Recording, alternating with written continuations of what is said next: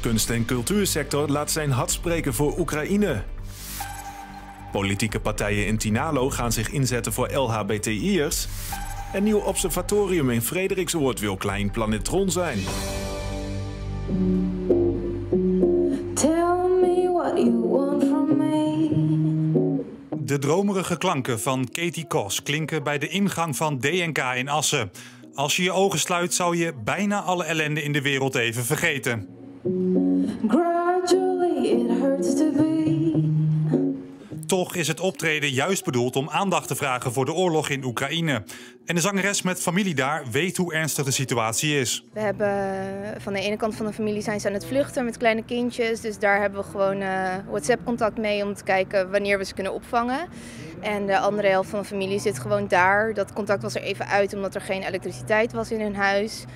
Dus dat is ehm, niet fijn en heel spannend. Maar ehm, ja, we doen zo goed als we kunnen.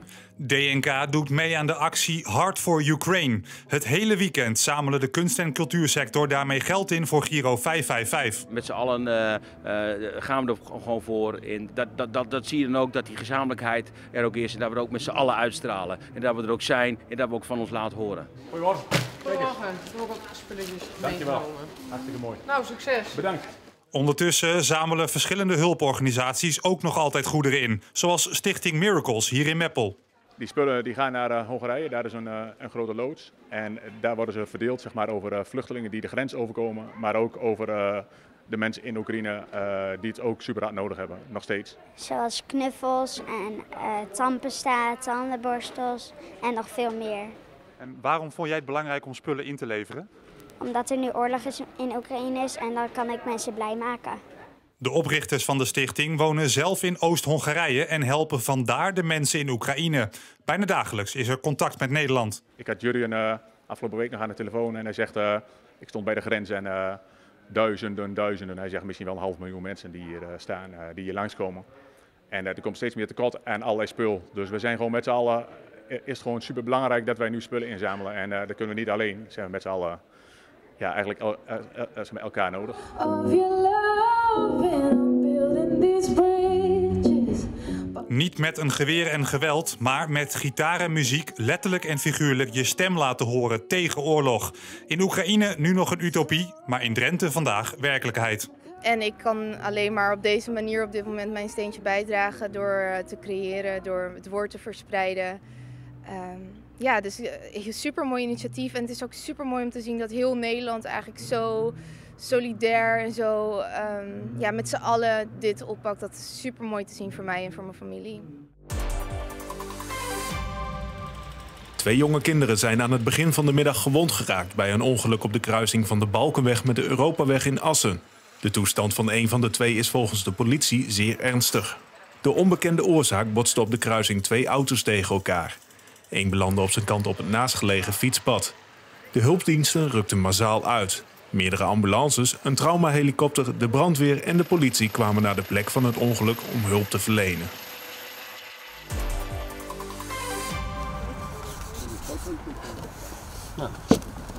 Mooi. Mensen met een andere geaardheid hebben het nog altijd lastig in de maatschappij. Met de ondertekening door vier partijen van het Regenboog-stembusakkoord moet dat na de verkiezingen in Tinalo veranderen. Met het regenboogstembusakkoord roepen we politieke partijen op om na de verkiezingen aandacht te geven aan specifieke LHBTI-onderwerpen. Ehm, met name het ondersteunen van kwetsbare groepen, het verbeteren van de veiligheid voor de LHBTI'ers eh, en ook de zichtbaarheid en acceptatie natuurlijk van de doelgroep. En daar kunnen de politici zich in vinden, soms ook uit persoonlijke ervaring. Waarom ik dat zo belangrijk vind, eh, dat mijn oudste kind uh, non-binair is. Ehm, ik zie diens worsteling heel erg ook in de samenleving met eh, contact met vrienden. En ik gun die worsteling eh, niemand toe. En ik vind dat eh, eh, daarom het zo belangrijk is eh, dat we hier aandacht voor vragen, raadsbreed. Het dwingt ons ook om straks aan de formatietafel eh, dit mee te nemen. En eh, nou ja, het, het, het, het jammer is dat het nodig is. Maar we maken nu wel een hele goede stap in, in, eh, op weg naar die inclusieve samenleving. Dus ik ben er heel blij mee. Iedereen is gelijk, moet kunnen meedoen. En ja, dit onderstreept maar weer dat we zelfs in 2022 nog steeds eh, tegen problemen aanlopen. Dat mensen in de samenleving niet kunnen meedoen.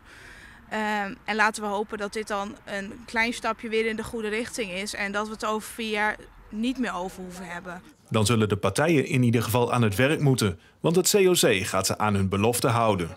Juist daarom de ondertekening van dit akkoord, hè, waarmee partijen zich ook echt uh, uh, in willen zetten. Ook al echt bekrachtigen dat ze hier de komende vier jaar aandacht aan willen geven. Uh, en we gaan ze daar natuurlijk ook aan houden.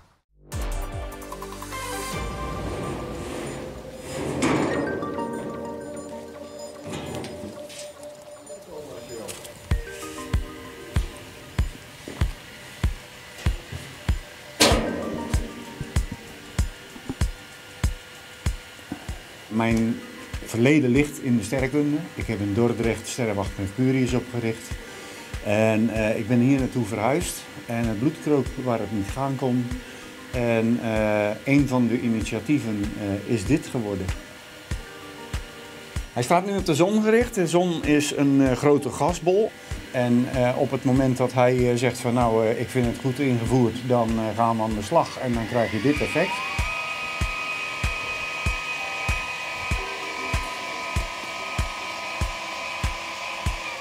Is heel makkelijk als je hier in een kleine ruimte met mensen uh, werkt, uh, dat je dan, uh, terwijl je in gesprek bent met iemand, het object vast kan laten opzoeken door de kijker zelf.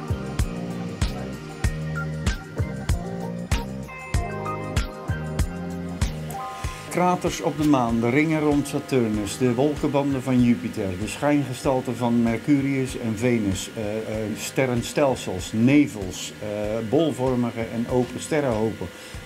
er zitten in deze computer 42.000 objecten die per knopdruk opvraagbaar zijn.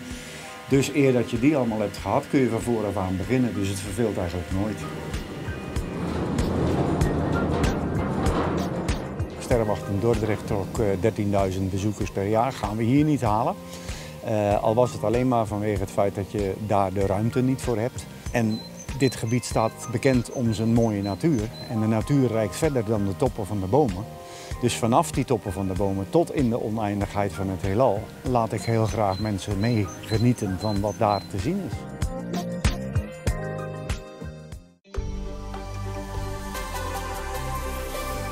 Vanavond en vannacht zijn er opklaringen en enkele wolkenvelden.